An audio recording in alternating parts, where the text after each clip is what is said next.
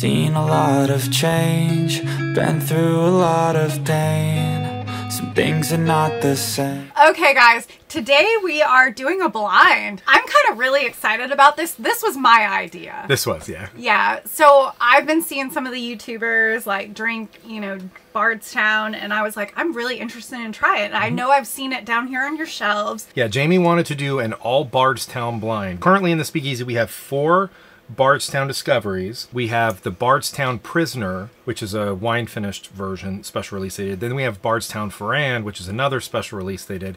And then we also have three Bardstown fusions. And she wanted to do a nine way or whatever blind. and he's like, no, She's no, like, no. I thought it's like that might be a little much for one blind. And she's like, no, no, no, I want two ounce pours of every one of them. David, What? That didn't happen. are you lying? I am. That was a joke.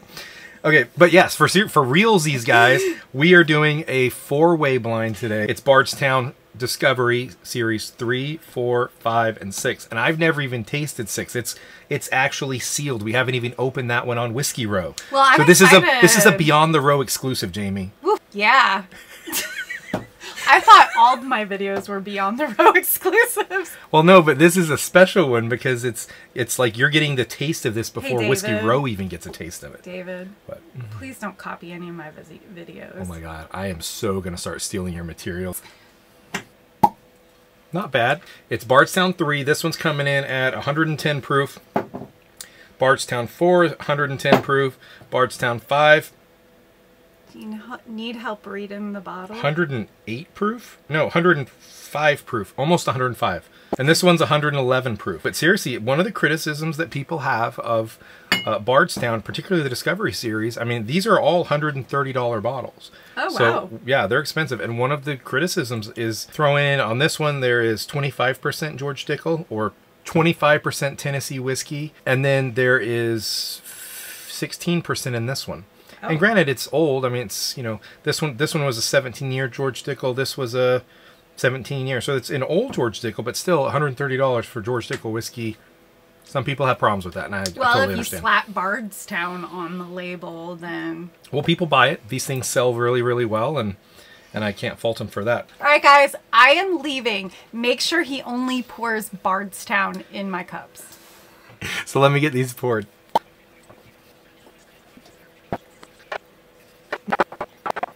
All right, these are all mixed up. I don't know which is which.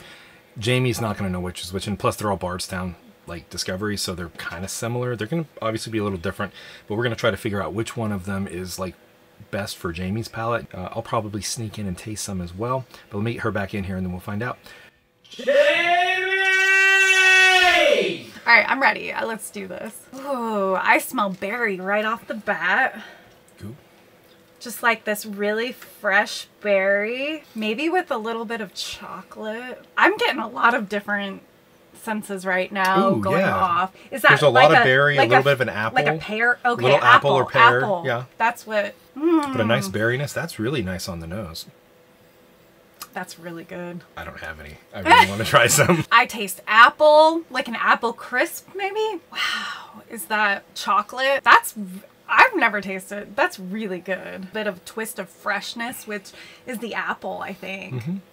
Well, one cool thing is because these are blends, they actually can blend to taste with the available, you know, sourced uh, whiskey they have. I'm gonna get a little spice, but it's kind of like a warm apple, uh, cinnamon, like pie crust, a little bit of a berry. Got a really, really thick, rich mouthfeel. Yeah. It's got a decent, decently long finish too. It's a good bourbon. I mean, that's kind of how you know that it's very like a quality bourbon because it just gives you it just coats your mouth. All right, on to number 2, guys.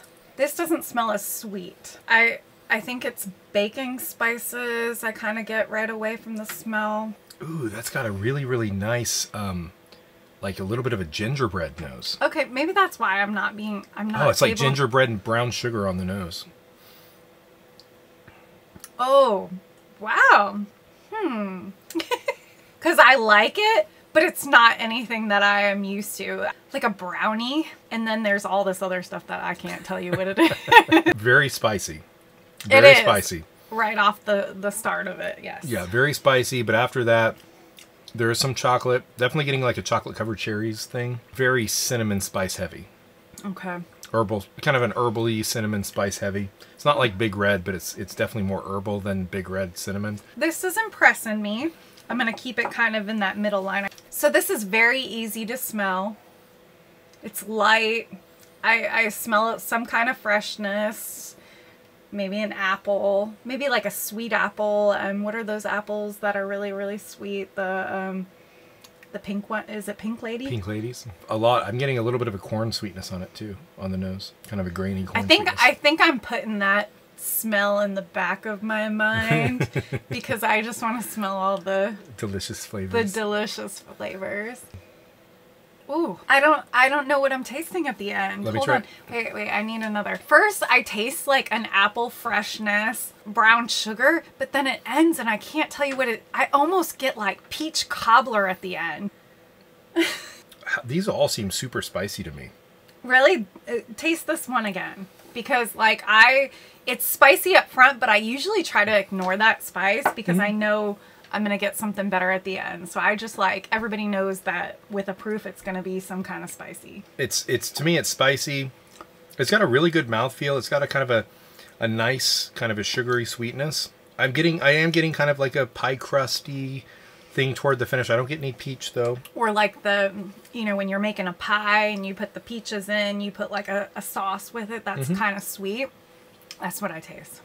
I don't like the smell of this one at all. It kind of smells like a, like a sour fruit. Really? I smell, I mean, it's spicy. I can definitely tell that. I'm getting like a very mild citrus. Sometimes citrus can be like burny, I guess, like, or has that. So I'm getting a little bit of a, a molasses on the nose. Hmm. So it's a kind of a very almost corn syrup, actually more so than molasses. I think I'm going to put all of these on my shelf. So I take it that you like it better than it smelled. Yes, a lot better. I taste the corn syrupy like at the beginning. Okay. It ends with more of a sweet warm feel.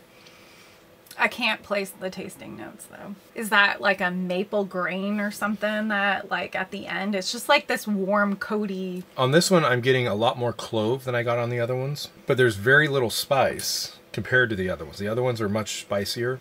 This one's much more mild, but it's got it does have a strong clove.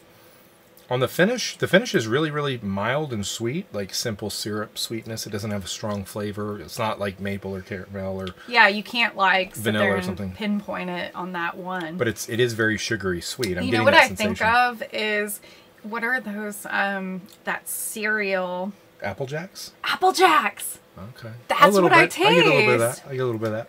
All right, guys, we are back, and I have decided. So, sorry, Apple Jacks.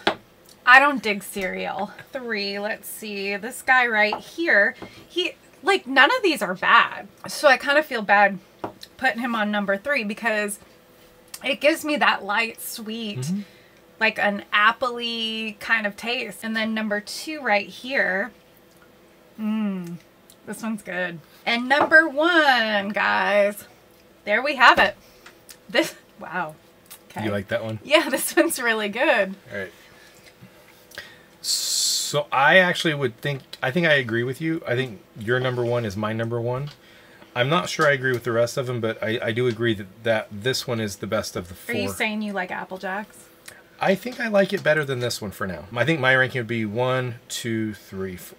I think I'm a fan of Bardstown. Like, I put this in fourth place, but all of these are really good. So Bardstown Discoveries, I found all to be fairly good. The problem is the price. Are these really worth $130 each? Well, I don't think about it. I just come into the speakeasy and drink them. Fair enough. But the criticism for Bardstown isn't their taste. Their taste, almost everybody seems to like their taste to an extent.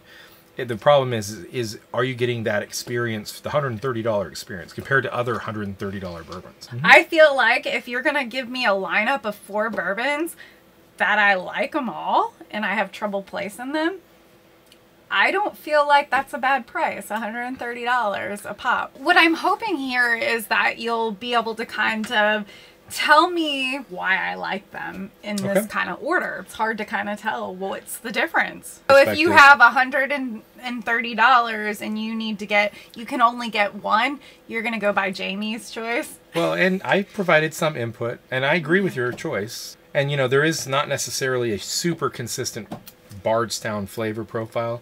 I mean, you can tell there were some similarities as we talked about them. Distillers, blenders, whatever you want to call them, do kind of you know put some effort into creating a consistency based on what's available. But it's not like they're pulling from the same barrels who've gone through the same climate and the same mash bill every single time.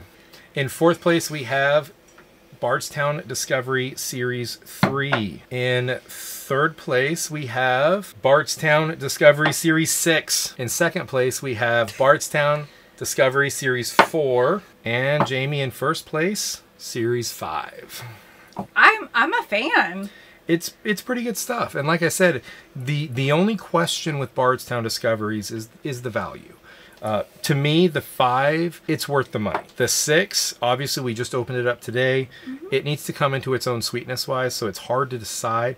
As of right now, on Cork Pop, I don't think it's worth it value wise. Okay, because yeah, I did find this one to be very spicy right Yeah. off the bat, and it like that's kind of probably why I put it in this third place. Mm-hmm. And that that sweetness might come out over after it's been open for a little while. I think the Bardstown Series Three, I don't really think it was worth it. Not sure it's worth one hundred thirty dollars. And then I think the Bardstown Series Four, I think that one is actually probably pretty close value wise to being worth it. I'm excited. I want to go to Kentucky and go to Bardstown. It is actually on our list. We're gonna go to Bardstown, and then obviously Bucket list. Let's check that baby off. we'll have to go to all the different distilleries in Bardstown, and there is a lot of them. David, What's up, Jaime? thank you for coming in the speakeasy today. My pleasure. Anytime you want me to set you up a blind and, and talk about bourbon, I'm your man. Any anytime I want you to come in and drink some Bardstown. Bardstown. I feel like you don't give these fellas enough uh, showtime. I don't. Okay. Other other folks have them covered, and I'm a so- fan. I Pretty feel like they actually are um, kind of competing in the old Forester uh, tub right there. Really? Although the Old Forester 1910, you could get two and a half bottles of it for one of these. It's a lot of Why do you gotta do that? Why do you gotta do that? It's a reality. Money matters when you're actually spending it at the store. Thank you so much for watching Beyond the Row today. If you ended up liking this video, please hit that like button. Subscribe to the channel if you haven't. Jaime said she needs more subscribers. and until next time, Thank you all for watching. We'll see you next time. hey Jaime, guess what?